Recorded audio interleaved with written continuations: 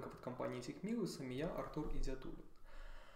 А в продолжении моей предыдущей статьи про возможный лаг между процессом распространения вирусом и отражения этого процесса в а, данных, которых, которые нам предоставляет официальный Китай, а это именно подтвержденные случаи, а, я бы хотел представить вашему вниманию следующую таблицу, с весьма наивной для любого эпидемиолога математикой, расчетами, которая, однако, убеждает, что вспышку вируса, вероятно, действительно удалось взять а, под контроль. Обратите внимание на а, четвертый столбец и на шестой столбец. Это а, темп роста заболевших, зараженных и темп роста смертей. Достаточно банальные показатели, они рассчитываются как относительные превращения, соответственно, зараженных или смертей а, по сравнению с предыдущим днем и выраженные в процентах. То есть, наверное, чтобы нам получить а, показатель в 26%, мы отнимаем от этого значения значение предыдущего дня и делим на значение предыдущего дня, э, получаем 26%. А, справедливо полагать, что так как далеко не все инвесторы трейдеры эксперты в области эпидемиологии, скудную статистику поставляет только официаль, официальный Китай, а данные по а, числу зараженных и по числу смертей это как бы единственные солидные данные, которые вообще можно, получается, анализировать. И, соответственно, а, такие характеристики вспышки, как а, темп роста зараженных и темп роста смертей, вполне могли быть взяты рынком за критерии эффективности контроля вспышки и летальности вспышки. С течением времени можно а, видеть, например, в э, темпах числа зараженных, что происходит охлаждение показателя, он а, достигал пика 27 января в 65%, затем он постепенно снижался, достиг 19%. То же самое произошло в темпах а, роста смертей. Если мы смотрим вот на, это, на, эти относительно, на этот относительный показатель, то видно, что темп роста смертей также падает, он достиг 18% 18% э, к понедельнику, к 3 января. А, как и предполагалось, а, карантин отразился в э, данных, то есть в подтвержденных случаях э, с некоторой задержкой, примерно через полторы недели получается, так как на первых а, порах темпы диагностирования заболевания уступали темпам распространения вируса.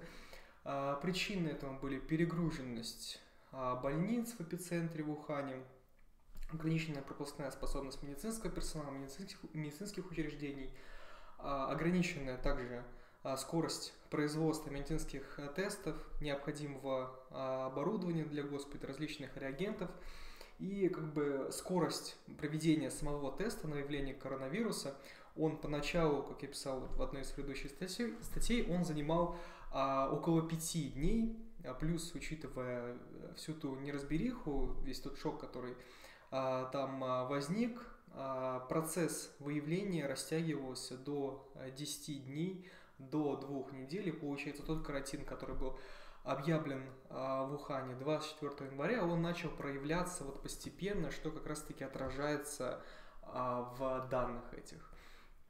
А, репутацию вируса как угрозы а, человечеству изрядно подпортили его темпы распространения и его летальность за пределами Китая, на что я не раз обращал внимание в предыдущих а, статьях, в купе с а, карантином, который начинает действовать постепенно, данный тренд, данная тенденция, что вирус не распространяется за пределами Китая активно, это повышает шанс на то, что все-таки а, коронавирус данный не сменит а, статус с эпидемией, которую он сейчас имеет, а, на статус пандемии, что также позволяет рынкам все-таки расслабиться. Сегодня также появилась информация, что исследователи, э, вирусологи из Великобритании, а также исследователи из Китайского университета, они достигли значительного прогресса в получении а вакцины, как заявил один из британских а, исследователей, препарат будет тестироваться сначала на животных, а затем а, летом уже смогут, э, может быть протестирован на людях, конечно, если, если позволит э, финансирование, если дальше будет финансировать, так как, например, вот при вспышке а, вируса SARS, который вызывал типичное пневмонию в 2003 году, так как к лету он, по сути, будем говорить так, вымер, а финансирование, естественно, прекратилось или значительно а, сократилось, поэтому и разработка вакцин затянулась и до сих пор так и а, не было успешно, успешно закончено. Вот, и такие как бы, позитивные новости о том, что появилась э, возможность разработать вакцины быстро, э, эти новости вот обуславливают сегодняшнее продолжение отката в золоте, да, который вот мы наблюдаем, который пробил уже отметку 1550 пунктов, и также позитивную реакцию на рынках э, акций. А на сегодня все. Спасибо за ваше внимание. Увидимся с вами в пятницу.